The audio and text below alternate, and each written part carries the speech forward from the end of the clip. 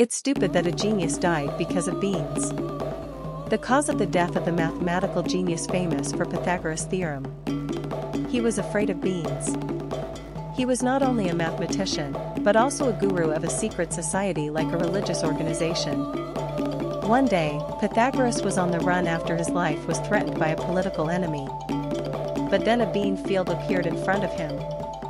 Normally, he would have run through it, but Pythagoras stopped and said, No, beans are impossible.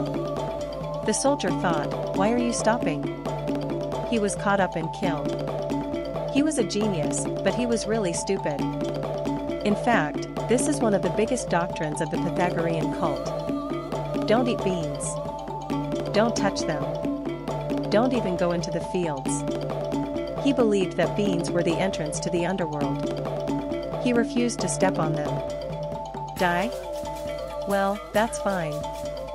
Some legends say that people die in battle. Some say that people die from beans. I'm broadcasting silly but useful stories about great people in history. Please like and subscribe to my channel.